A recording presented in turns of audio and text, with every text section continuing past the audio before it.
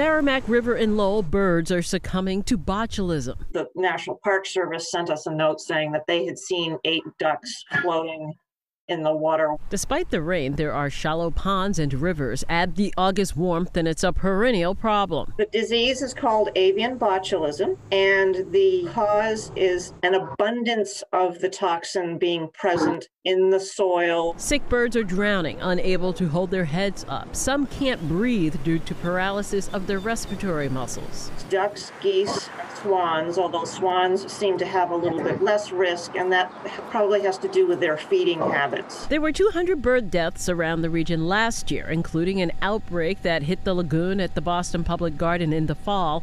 The water there was drained, but along the river, that's not an option. What should and shouldn't we do? We have been recommending that if there's any feeding activity, that that stop because you're congregating the birds together. And we all know that certain diseases can pass uh, very easily when you have crowds. Botulism in birds does not cause illness in humans, but don't touch dead or ailing animals. Contact animal control, who can reach a wildlife expert.